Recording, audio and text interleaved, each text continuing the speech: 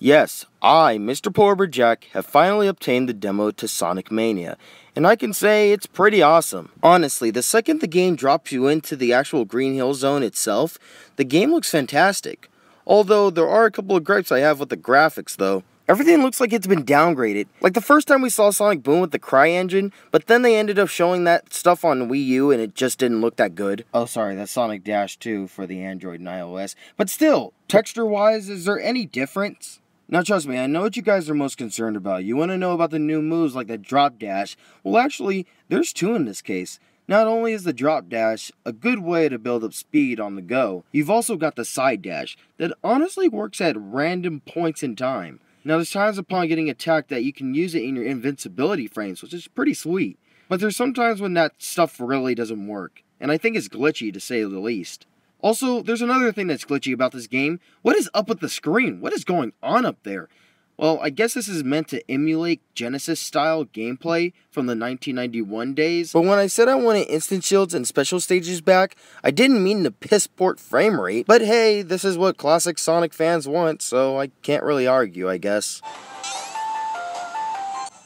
Now, if there's a tradition for Sonic getting anything right, is the music. The music? Oh god, the music. You guys hear this, right? I mean, yeah, they are trying to emulate the classic days, but they went too far back. It sounds like it came from a Game Boy. Hey, and I'm not saying that every Game Boy has terrible music. I mean, come on, Sonic Advance. That was pretty good, right?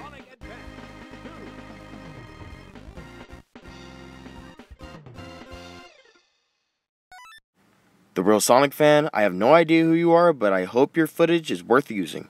Now, I am not the OCD of all C, but honestly, what I know is that a game should look original no matter what. Now, I'm not saying that Sonic Mania looks bad or anything. Now, not, that's not what I'm saying at all. And especially, Sonic's new redesign looks stunning. It looks perfect. It looks fantastic. Definitely something that I'd like to put on my wall. Me, personally, I just don't want another Sonic 1, because that's wasting my money. And you guys know I don't like to waste money. I mean, look at this thing. The special stages are exactly like Sonic 1. It doesn't make sense, you know? I mean, credit me for getting 50 rings on this super hard stage. In fact, can I talk about that for a second? The difficulty spike is definitely a new one. Hell, I don't remember Sonic being this hard at all. I mean, what do you expect? It's the full game. Yes, I'm sorry, I didn't mention this earlier, but since I made that video about getting a Sonic demo, Sega! Sega actually responded. They gave me the full game. Although, that did come with some kind of consequence. The game is freaking hard for a reason. Plus, to add to the stress, if you get a game over, you can't play the game again.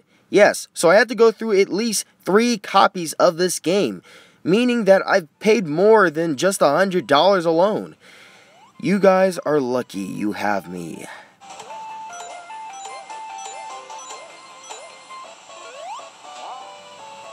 They know my Sonic skills are beyond great, so they don't want me beating this thing, showing you guys every little bit. So I can't really get to the instant shields or anything. Surprisingly, this game has its own version of Marble Zone, but again, this runs into the same thing I was talking about. Something original, please. I mean, come on now. We all know how hard Marble Zone is, and oh, I'm just kidding. I'm just kidding with you guys. I didn't get the actual game. Come on now.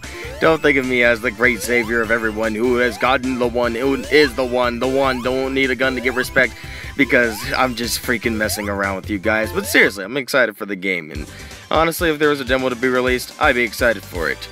But honestly, if we were to get a demo, people would just crack all the little things that are hidden within the game. So, yeah.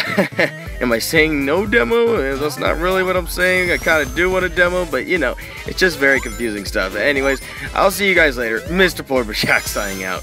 Peace. And you don't stop drawing because you get old. You get old because you stop drawing. So keep drawing. Anyways, see you guys later.